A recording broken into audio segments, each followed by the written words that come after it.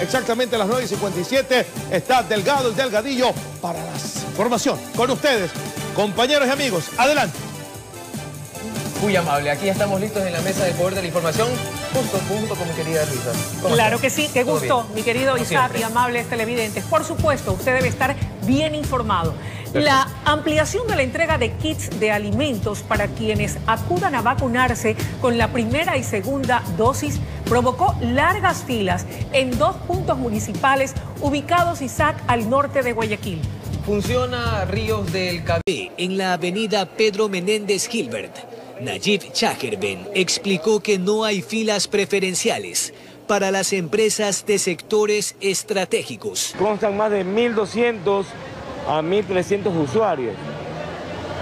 Pero no hay una preferencia, entran equitativamente.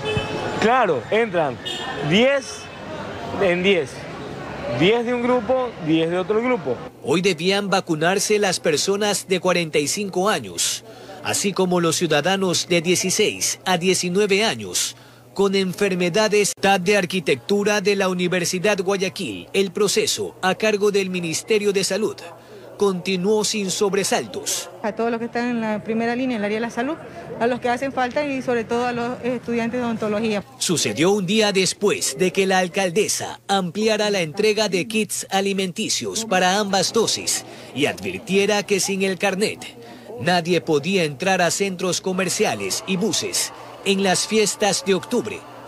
La próxima semana abrirán tres más. Informó Jorge Escobar.